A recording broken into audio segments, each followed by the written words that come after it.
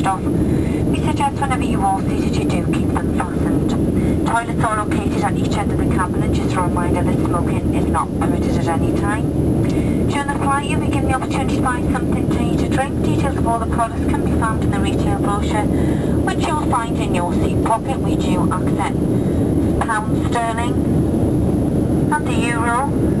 Lowest coin, however, that we can accept is a 50 cent and most major credit cards. Could we please also ask if you are wishing to purchase any items that you do pay in the correct change, as the change is very short on today's flight. We do have a selection of hot and cold sandwiches. Today's hot choice is a bacon baguette.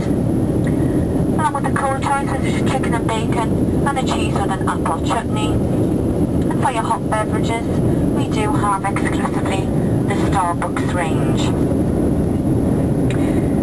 Any person travelling on a non-EU passport into the UK will need to complete a landing card to present with the passport at immigration. If you do require a landing card, please press the call bell in the panel above your head. Meanwhile, sit back, relax, enjoy this flight back to Newcastle. If we can be of any further assistance, then please don't hesitate to contact one of us.